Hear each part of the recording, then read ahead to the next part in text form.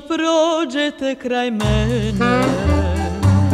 Po kraju ugla gde ja stojim Pogledajte moje cveće, moje plave ljubičice Mali struk nad kojim bdim. Il kad vašem stolu priđem I na dlanu njih vam nudim Uspomene svoje budim pred vama leži ne Ja sam vam svima znana Sa svojim cvećem I svima beskrajno strana U noć kad krećem Da li ko pita Zašto baš ljubičice ko znamenje nosim u tuzi za kim?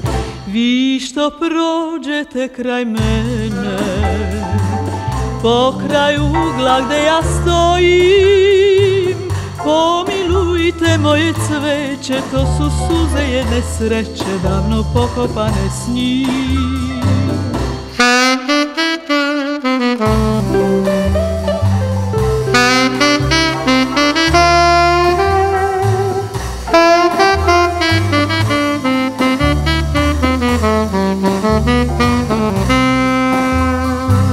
Ja sam vam svima znana Sa svojim cvećem I svima beskrajno strana.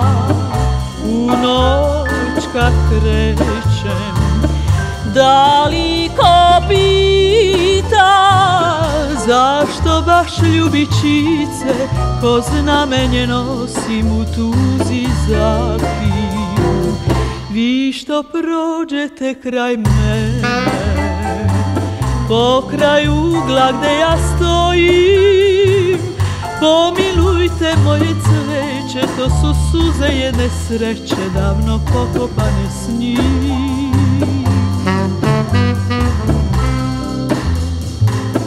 La la la